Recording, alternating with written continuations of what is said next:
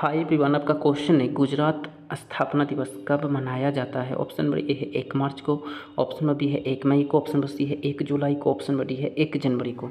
तो आपके इस क्वेश्चन का option number B correct answer हो जाएगा। एक मई को। So thank you like share and subscribe so thank you